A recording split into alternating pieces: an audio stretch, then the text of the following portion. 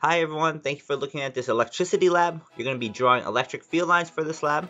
You're going to need a clear plastic container, a 9 volt battery, a voltmeter, two nails, some water, two graphing papers, some tape, and two alligator clips what you're going to be doing for this lab is you're going to be drawing electric field lines. So we're going to have graphing paper that's numbered on the x-axis and the y-axis.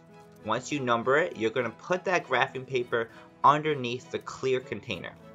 With the other graphing paper, make sure to also number on the x and y axis. You're going to number that and then you're going to be putting on this sheet the electric field lines, how it's going to look like. So first, you're going to set up that the nail is on the plastic container you could either set up how I'm doing it now or just tape it to the side of the container. Make sure that if you're going to be taping it, this is going to be underwater, so make sure that the tape is sturdy. You might want to use other kinds of tape if necessary. Then you're going to use the alligator clips to, pop, to connect the positive and negative charges onto the nail.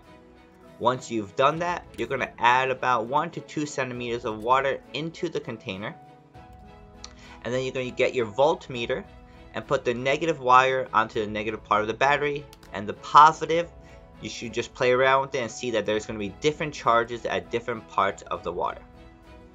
Now what you're going to do is you're going to start mapping out your electric field lines. First you're going to start out with where the positive nail is and the negative nail and you're going to put that on the graphing paper. And then you're going to look for certain charges. So you're going to look for one charge, it could be any number, but right now I'm just doing it with 7 volts and you're going to find six different spots with 7 volts. You're going to do this with six, five different charges for any kind of charge. So the second charge that I'm using is 3 volts, but you could do whatever number you want, 2.5, 1.2, 4, whatever number you want, but I'm just finding six spots where there's 3 volts. So I'm going to do that, and you're going to be doing this for five different kinds of charges. Once you do that, you're going to line up all of these charges just roughly. So you're just going to line them up. And they should make some kind of a shape that you're familiar with. And afterwards, you're going to make electric field lines. These electric field lines, you're just going to be roughly drawing them, but they should pretty much be going perpendicular to the lines of the equipotential lines or the lines of the charges.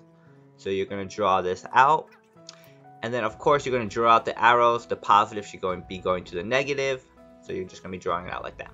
Then you're going to finish and you're going to have a nice drawing of an electric field lines. Alright, enjoy!